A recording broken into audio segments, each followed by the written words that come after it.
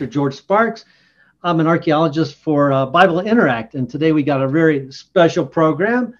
An old friend of mine, um, Major Paul Hesse, retired, and what we're going to be talking about today is something that we actually did years and years ago for God's Learning Channel, and that's some major archaeological finds that were actually made by PhDs.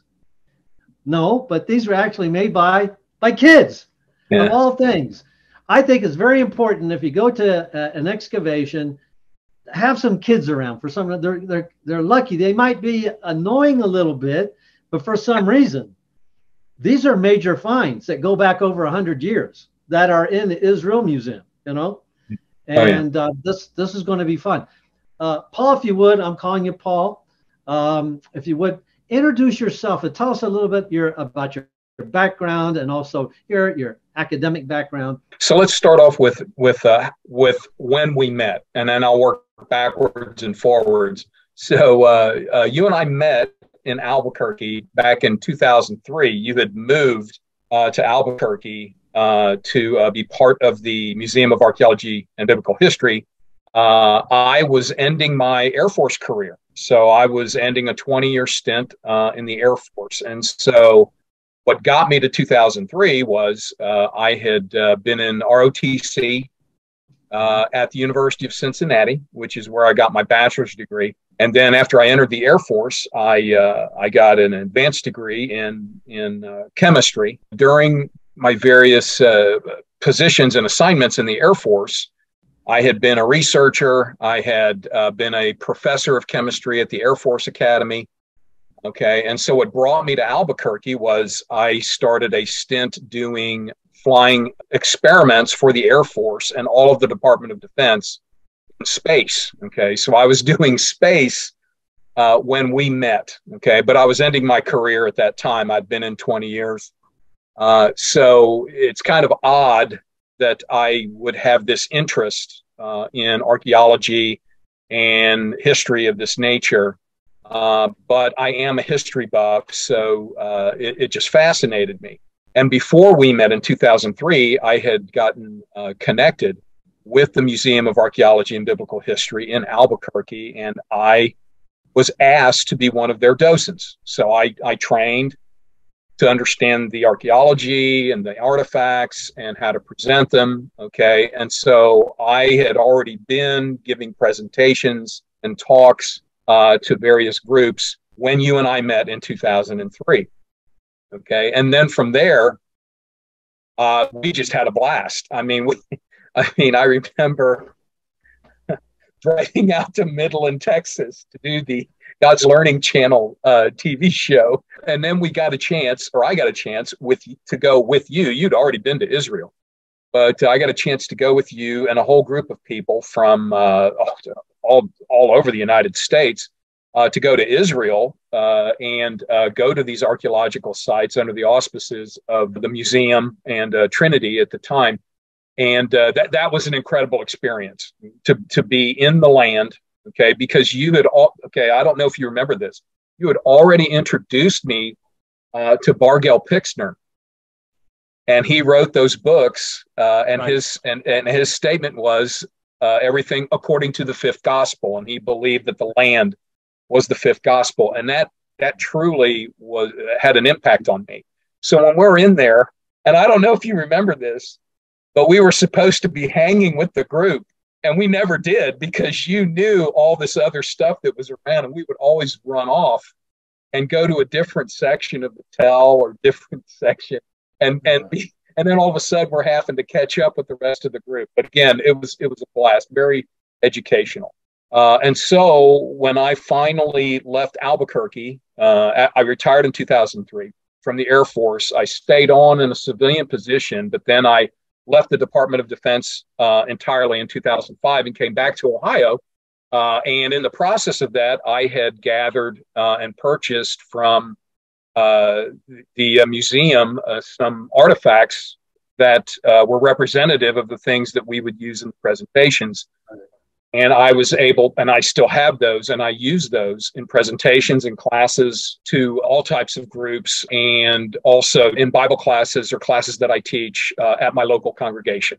Okay, and so that's how we're connected, and and I I came, you know, like I said, I'm not an archaeologist, I'm not an expert, uh, but I've been taught enough, probably to be dangerous, but but to but to uh, to give uh, some oomph uh, with these artifacts uh, to connect people with the biblical narrative. Uh, and it is a tremendous way to teach. And and I have to thank you and all the other people that helped me do that. Your your collection itself is quite extensive. It always blows me away. Right now, I'm kind of looking at the thing behind you, and I'm like, yeah. Wow. Well, that, there's the, a lot of really cool stuff back I there. I, I can, can already see. There's a little oh. sarcophagus back there. Oh my goodness. now wait a minute. See now, you think? Okay, what do you say? Huh? Is there a resemblance here or what? You know, because we will talk about a little bit about King Tut when we get there, but right. Now, you know, your beard isn't quite right. Well, you know, some Egyptians have that fake beard, but see, I got it going on. I got real right, bald gotta... head and a real okay. beard. So I mean, it's been 13, 14 years, and I said, you know, I got to get back in touch with Major Paul Hesse but uh, because I just remember he was really good at speaking, and uh, and that's why I invited you because you you're you, you knew how to relay the message quite well. We're talking about okay um, the major discoveries of of children. Paul, get, get us rolling on this, would you please? Okay. So the first the first thing we're going to talk about is the Siloam inscription, uh, which was discovered uh, at the um, Siloam pool end of Hezekiah's tunnel. And uh, Hezekiah's tunnel, of course, was discovered uh, by um, uh, Edward Robinson back in like the 1830s. And it had been dug out by him and everybody, and it was and it's associated with those passages in in the Old Testament that talk about how Hezekiah diverted the Gihon spring uh, in order to protect the water source because of the impending attack from uh, Assyrians. Yep. And it's a water channel, so it fills with water. In 1880, there was a young, was a 16 year old kid, okay, by the name of uh, Jacob uh, Eliyahu. And he, he did what 16 year old kids do all the time. He skipped school to go swimming. And he was, he was, so he entered from the, uh, from the uh, Siloam pool end of Hezekiah's tunnel and he was float. This is this is 1880, so you don't have you know lights. So he was floating a candle on top of the water, and he was swimming up the channel towards the Gihon Spring. And as he's going, he's feeling along, and he realizes that you know that this is like this is work. This is like chiseled out, and so he's feeling along. He feels the ridges. well, after a while, you got to turn back and come come home. Uh, so he turns around and he's and he's and now he's probably just floating back because that's the direction the water flows.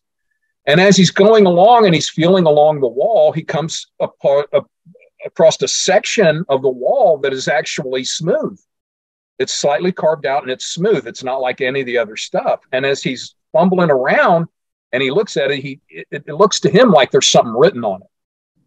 Okay, so what he does is that he, after he exits and uh, probably gets uh, in trouble for skipping school, uh, he tells his headmaster, and this headmaster went in, waited in there, and was and was uh, inspecting this inscription, and he was able to determine that this was something written in Hebrew. And so he actually was the one that started the investigation of what this actually was. Right. Well, sadly, in the meantime, uh, you know, a looter comes in. You can't keep anything secret.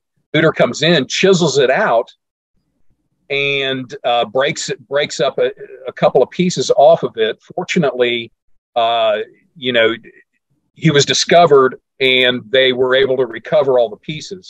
And now it sits in the Istanbul Museum, right. and it's one of the earliest uh, inscriptions that we have in what is known as Paleo Hebrew, which was the Hebrew right. of the uh, seventh, eighth, ninth centuries Okay, so that it would have been consistent with Hezekiah's time. Right. Uh, so that, that's how it was found. Um, was by a 16 year old kid who skipped school to go swimming. Kids will be saying, "Well, I skipped school because there's a chance that I can make a, a wonderful discovery today." Now, this would be this inscription, and of course, uh, that was found in what we call Hezekiah's tunnel during the Assyrian siege, which was Sennacherib siege. Um, dates to the latter part of the 8th century. So we're looking at like 720, something around there.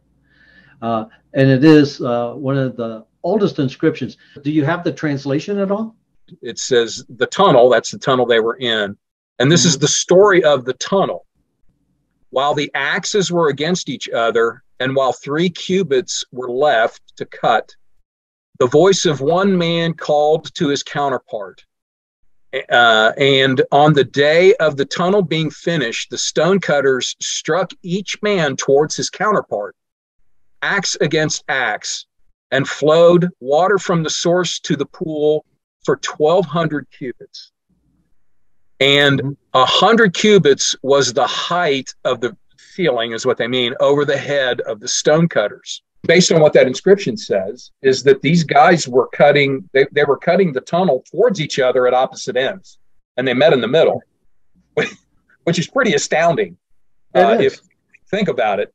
Uh, and that was that was an inscription that told about when they actually met, and uh, and and it's not like Hezekiah's tunnel is a straight shot from one from the Gihon Spring to the Siloam Pool. It it meanders all under the old city of David so, so that was that alone is quite a feat for the uh, eighth century BC. That that's pretty amazing. And they're bringing the water in because of the Assyrian siege, and they didn't want their water source where the Assyrians could take it, and virtually they would, you know, like go thirsty, starve to death. So it's very important to bring that water source in, in quite a ways too. It's not just a couple feet in; it's way into the city when we read the biblical text in the Christian faith, if I can say that, uh, we take the shortcut, you know, give it all to God. God, I'm praying for this to happen. You make it happen, right? But when we look at Hezekiah, not only does he confront the God of Israel, but he also does something. And he does quite a bit because we also find what we call lamelekh handles, which were like storage jars with the king's stamp you know, probably collecting taxes, building up the military force, and we find those in a number of larger tell sites. And uh, if you go to Jerusalem, you can see what we call the Broad Wall, he extended the wall, made it, you know, to defend the city. It's called the Broad Wall. And um, of course, and then it actually mentions in the biblical text that they built this water channel. Mm-hmm.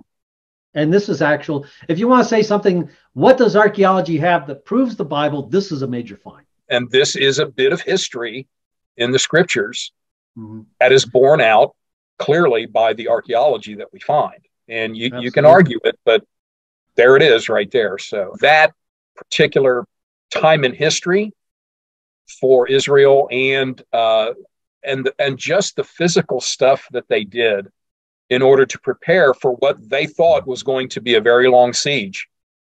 Exactly. Uh, yeah. Tr- truly amazing. Truly amazing what they put together, and and that was under the leadership of Hezekiah. So right. you can't you can't deny you can't deny the history, you can't deny the politics, you can't deny the angst, you can't deny the preparation. You know, so if if you if you want to put a human face on this, you know, you you have to think well, what would we do if we knew that something like this was coming? Well, we would prepare for it. And, and that's exactly that's exactly what they did back then. So uh, it's a great it's a great story. And again, found by a 16 year old kid skipping school. In the biblical text, used... it's kind of neat too because it says that the Syrians were laying siege to Jerusalem. Mm-hmm. People mm-hmm. are defending the city, but they're up on the wall and Sennacherib sends a messenger out. He's speaking in Hebrew, so everybody can hear it in their own tongue, and mm-hmm. basically mm-hmm. says, Now, if you come down now, there's a euphemism, everybody will be under their own fig tree by noon. You know, that means everybody will be happy and at peace. But if you don't come down, right. let me tell you what else we got planned. You'll be eating your own dung and drinking your own urine. Right. Now, then Hezekiah basically sends the word out that says, don't reply, don't say anything. I mean, there's a lot to this story that's that's pretty cool, you know. Yeah. And well, in the face of what could be a lot of suffering, you know, mm-hmm. uh, he did what he could and mm-hmm. uh, to avoid the siege. And as the epic goes and the biblical narrative, of course, uh, Sennacherib is called back home because there's a coup going on at his hometown, and he has to take care of that. And we have evidence of that in the Sennacherib prism. So we got the, the prism is like a cuneiform cylinder. So we've got evidence for not only for what happened in Jerusalem with the tunnel, but back home in Nineveh with mm-hmm. the Sennacherib. So yeah. we could talk, we can connect those two. Okay, yeah. next one. You want me to tackle that? That's King Tut. Yeah, yeah, sure. Why don't you? Yeah, because you you know way with a sarcophagus in the background, I think you're you probably yeah. have the edge on each. Hey, and I, I that's you know that's why you know I got the hat too, man. I got the whole ensemble going on here. You know what I mean? There we go. So now, you know, some people think that you know King Tut's tomb was was pristine, but actually, there was some pilferaging, pilferaging people stealing in the ancient world. And as archaeologists were uh, excavating in the Valley of the Kings, they were finding cups and jars and pieces of linen with the name Tutankhamun on it. So Howard Carter was saying, we still got a tomb here. And they went looking for this tomb, but of course, he needed financial helping. So what happened? He, he uh, actually, around 1917, Howard Carter, I'll just call him Carter, uh, got in touch with a, a, wealthy landowner, a British landowner whose name was Lord Carnarvon. And they started searching in the Valley of the Kings. And they did it very systematically and very time consuming and expensive because they formed a grid. And in that grid, they had the little like boxes in a grid, if I can, that makes sense. And they did every little box in that grid from 1917, and then they had some. There was World War One, uh, so there were some time periods where they couldn't excavate. But between 1917 and 1922, they were busy looking for King Tut's tomb, one square after another square after another square, and they were going down to the bedrock. So we're talking about probably hundreds of laborers, workers out there in in, uh, in that heat, trying to find this this tomb. So this went on for so long that finally, this is today's money, $18 million. Looking for something and finding nothing. I mean, yeah, nothing. That's painful. That's yeah. painful, you know. And uh, so it got to the uh, a time where Lord Carnarvon, he was the one that was the the piggy bank. Uh, he said, "Hey, listen, you know, we, we got to put an end to this." He says, "I can't keep on affording flipping the bill." And Howard Carter convinced him just one more. They're down to one square. That's it. One square out of this big grid that they made of all these other squares, one after another, all these years, they're down to this one. And Carter convinced Lord Carnarvon just one more season, just one more. Three days after starting this search, just three days in, a young boy. Now they're actually looking. They're actually looking for a boy's tomb. King Tut was what, 16, 17, 18 when he died? Yeah. That's kind of interesting. So you got a boy, I'm not going to give it away yet. A young boy was trying to stabilize an amphora. An amphora is a storing jar. I'm going to turn my camera real quick here and see if I can. There's one right there. Can you see it? Mm. Oh, nice. There. Let's go this way. There you go. Now I can't show you the bottom of it, but it tapers down so that they can dig out a section of the sand, right? And it's got to go down deep enough where that amphora can stand upright and they fill it with water and they can use a dipper juglet or what have you to, to get the water out of it. Now, this is a representing amphora. It's not from the correct time period, all right?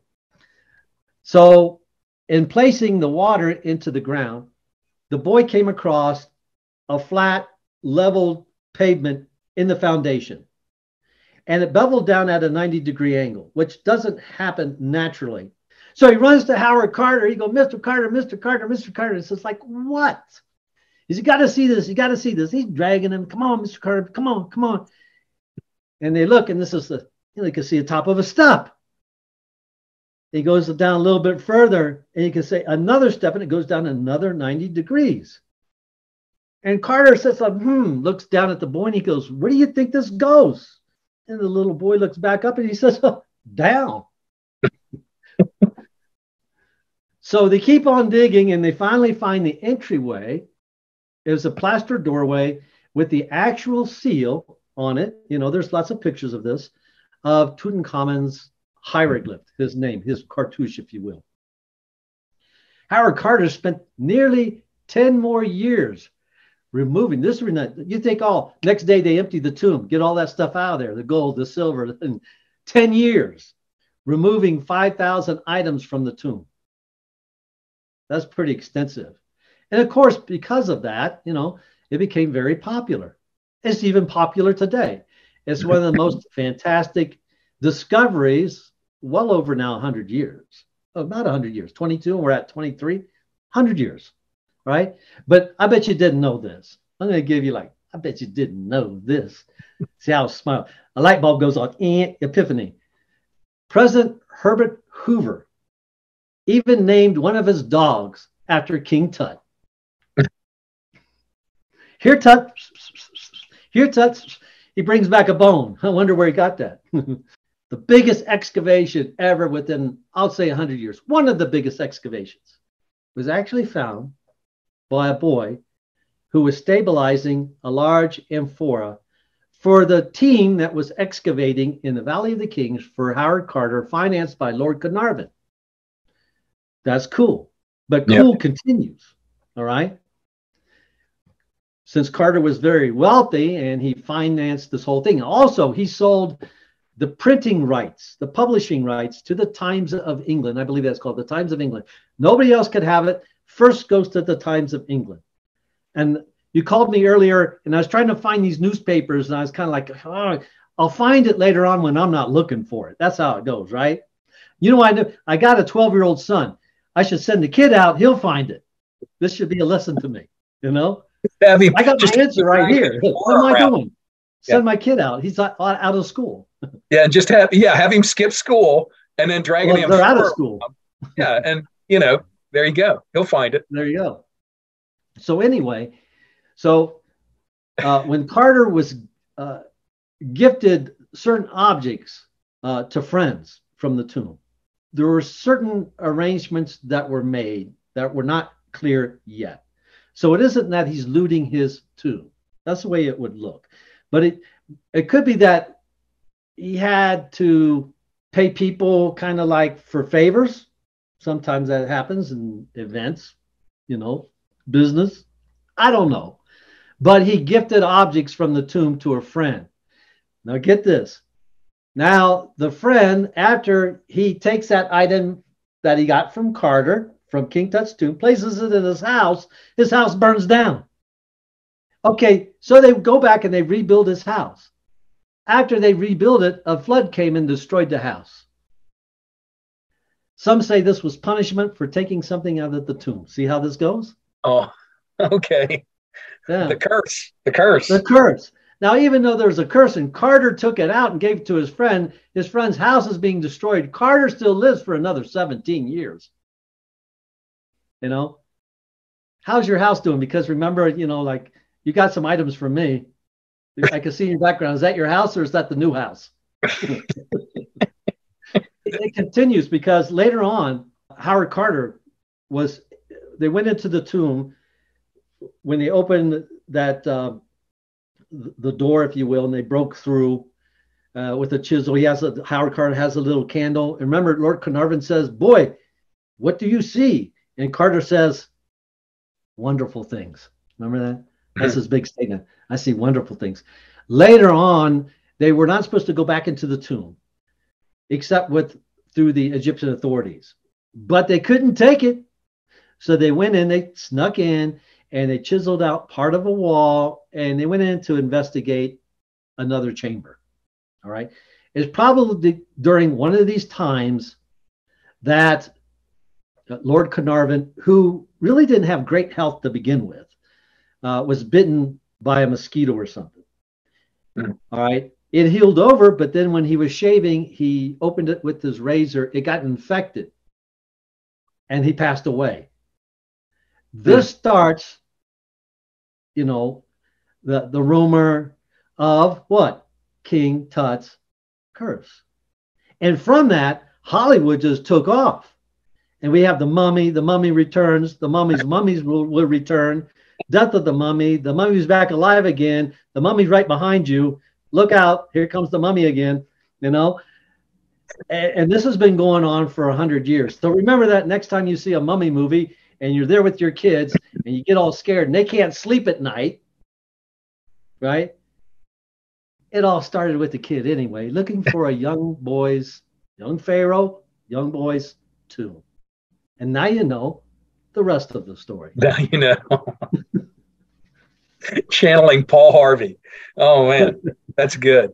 And you know, if you've, of course, if you've ever seen pictures, because occasionally these these artifacts from King tut's tomb will make it to America, or small portions of them, uh, on exactly. exhibits and agreements between, you know, with the Egyptian authorities and everything. And if you look at them, they're, they're unbelievable.